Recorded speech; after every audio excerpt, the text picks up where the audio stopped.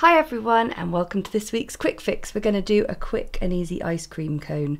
So uh, we're going to begin with a deep V which is going to be our cone and then what we're going to do is I'm just going to sort of draw a little bit higher up a, a rounded shape and then underneath a slightly larger rounded shape a little bit like we were doing a, a snowman and then on the top just to balance it out coming back in the opposite direction we're going to have a cherry.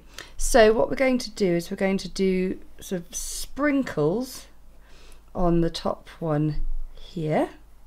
So I'm just going to draw little sprinkly shapes.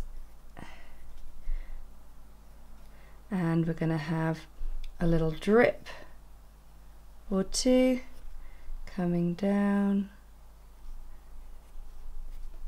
And there we go.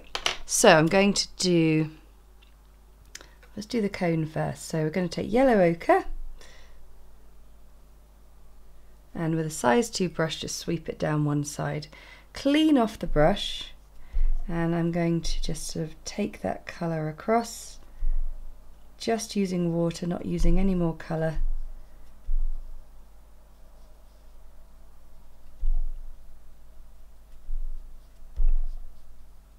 And we'll just leave it like that for the moment.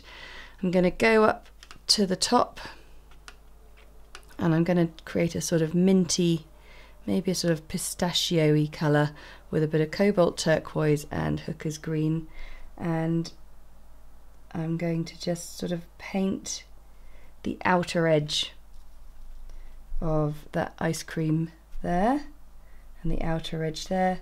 And I'm going to sort of start almost like dabbing the brush in because ice cream does have that that slight texture if it's been scooped. And it doesn't matter if you go over the top of the the sprinkles that's fine but we just want to keep that a really nice and dilute colour now we can just mix up a bit of alizarin crimson for our cherry but we do need to wait for a few things to dry first and then I think I'll do a chocolate ice cream on the lower levels and so we'll get burnt sienna mixed up for that as well and a little bit of Payne's grey just for a bit of bit of darkness, a bit of shadow. But the other thing we need to do is to create the, we're going to do a waffle cone here. And as it's the quick fix and we're just doing simple, simple designs, I'm just going to mix up a bit of burnt sienna in with the yellow ochre. Get rid of a crumble hair there. For those of you who don't know, Crumble is my dog and uh, his hairs end up in my paint quite often. Okay, so we've got our colours mixed and now we just need to wait for this all to dry. So I'm going to take my size zero brush and I'm going to, from this side, just paint as a sweeping, slightly curved diagonal line. Then I'm going to continue that across the top. And then I'm going to cross it over.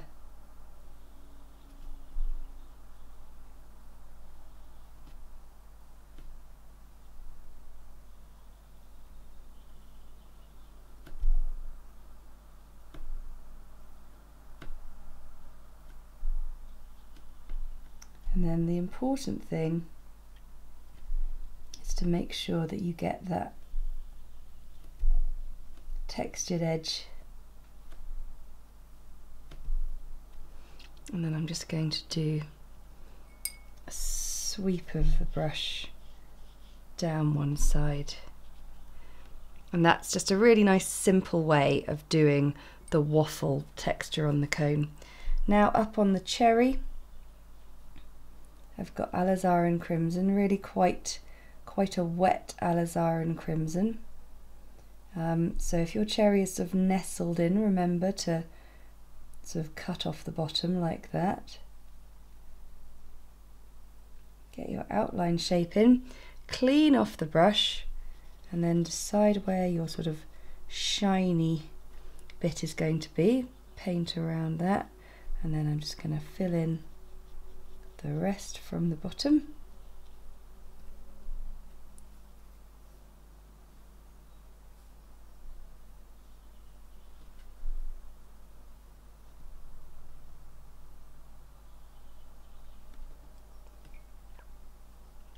And we'll just let that settle in. And then we can do the chocolate ice cream. So I'm going to again do the outside edges first and get a bit of that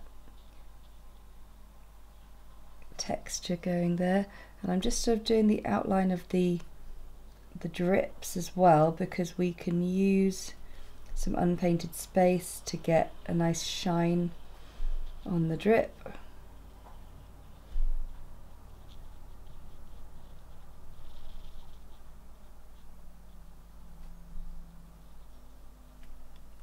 And now I'm going to mix in a bit of Payne's Grey to my chocolate and just get a bit more of that dark colour in there.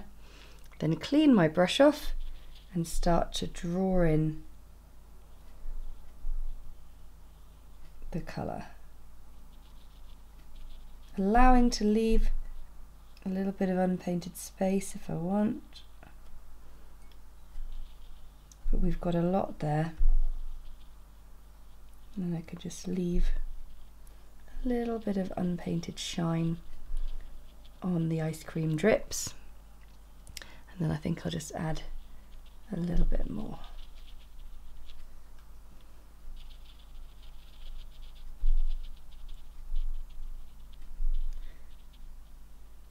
But yeah, I think a lot of people forget about the texture of ice cream when they're painting it.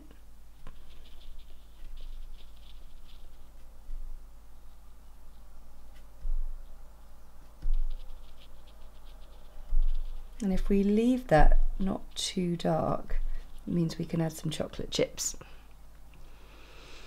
I'm going to go down to a really small brush for my sprinkles and I'd like them to be nice bright colours so I'm going to wake up the permanent rose cadmium orange, hooker's green. And what I'm going to do is I'm going to paint in the sort of outline of the sprinkle.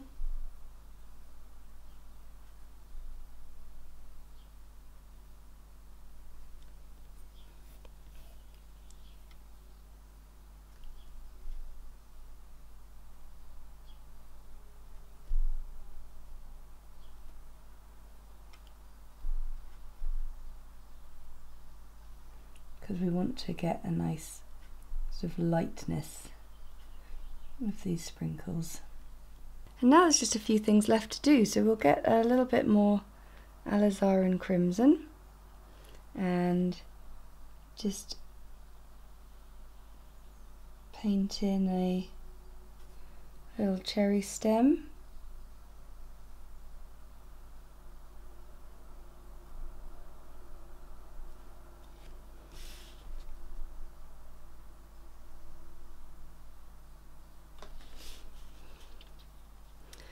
also think it would be nice to get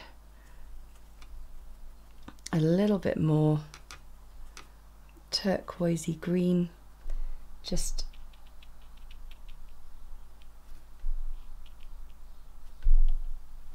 on the ice cream there.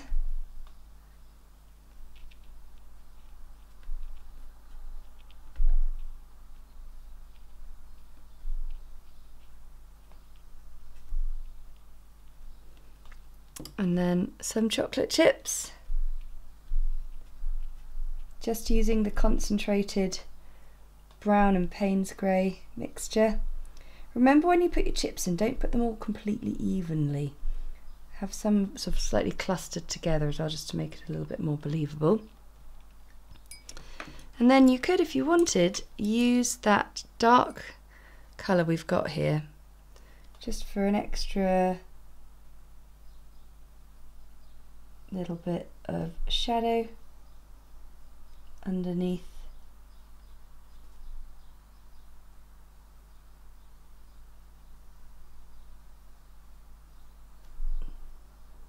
some of these lines.